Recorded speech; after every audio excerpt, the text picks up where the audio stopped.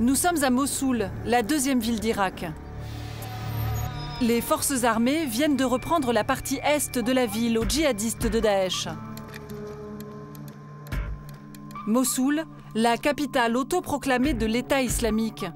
Tout un symbole. Partout, des habitants qui semblent soulagés.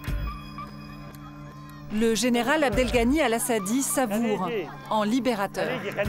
Laissez-le passer, laissez-le passer. Avec plaisir.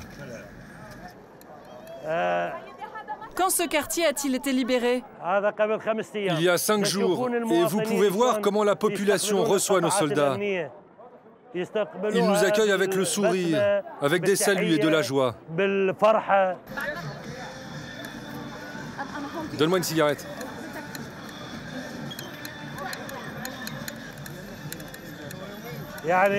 Vous savez, quand on est reçu avec le sourire d'un enfant, avec son innocence, on ne peut pas être plus heureux que ça.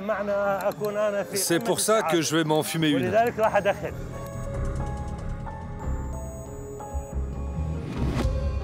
Daesh a régné sur Mossoul pendant plus de deux ans, avec aux commandes le chef de l'organisation, Abu Bakr al-Baghdadi.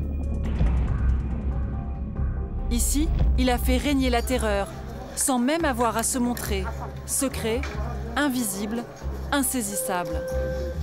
En revanche, il a laissé son empreinte partout. Dans cette maison se trouvait l'un des QG de son organisation. C'est quoi ce livre? Un livre de Daesh? Oui, regardez, c'est leur drapeau.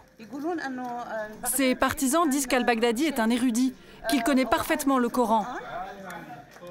Un érudit, mon œil.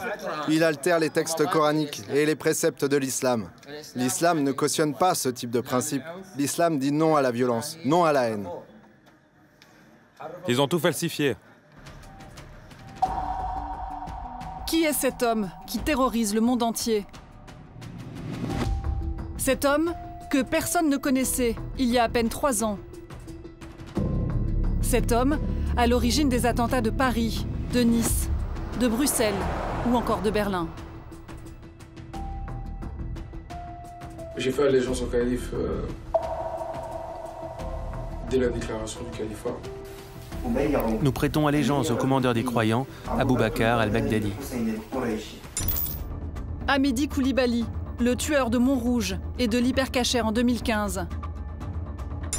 Kermiche et Petit Jean, les assassins du curé de Saint-Étienne du Rouvray en juillet dernier. Ils ont tué en son nom. Nous sommes partis sur les traces de celui qui est devenu le nouveau Ben Laden, en plus sanguinaire. Al-Baghdadi a surpassé l'architecte du 11 septembre en se dotant d'un vaste territoire et d'une armée qui a compté jusqu'à 50 000 hommes. Une enquête sous haute tension, notre équipe a été menacée. L'homme au téléphone m'a dit qu'il pouvait nous tuer à tout moment. Et avec le numéro de ma voiture, ils peuvent m'attraper en bas de chez moi. Il est dangereux de poser trop de questions sur celui qui cherche à rester invisible. Même ses soldats le surnomment Al-Shaba, le fantôme.